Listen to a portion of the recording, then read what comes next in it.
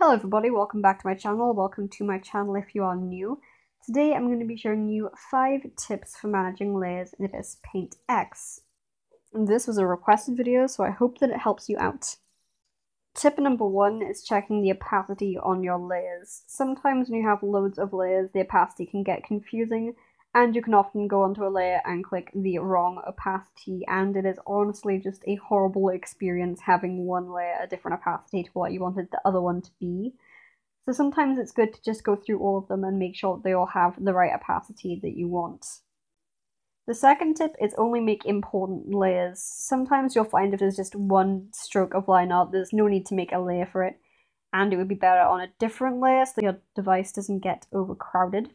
Though you can have smaller layers, I strongly advise against it unless it's for something like doing special effects.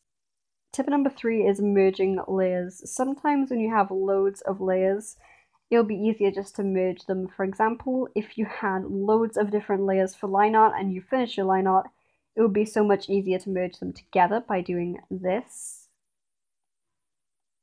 And then they'd all be in one layer and it would crowd your device a lot less.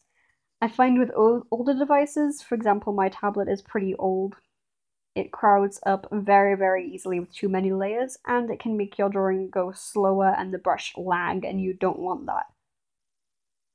The fourth tip is naming layers. Now, if you have loads of layers and you can't merge down all of them, it's always a good idea to name some. For example, you can go right here, click rename layer, and if this was the line art one, you could just name it line art. Or if it was the line art for a certain part, then you could name, name it for that certain part. Like this.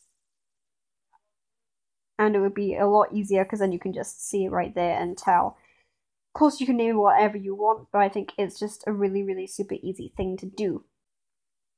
Tip number five is duplicate.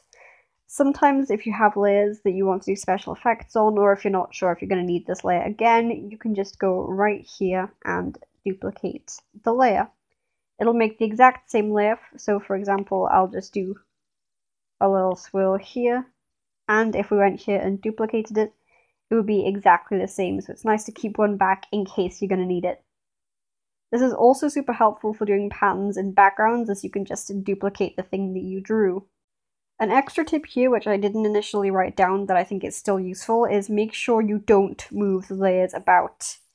If you hold by here on the picture, then your layer will move. And while that is helpful in its own right, you don't want to be doing that accidentally because then it will just mess the order up completely. So when you're scrolling down, make sure that you're always grabbing on this side near the text that says normal 100%.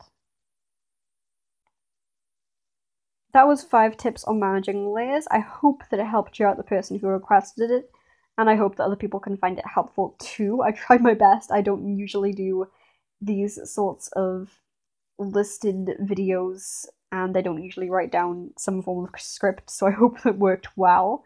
Thank you very much for watching, and stay safe.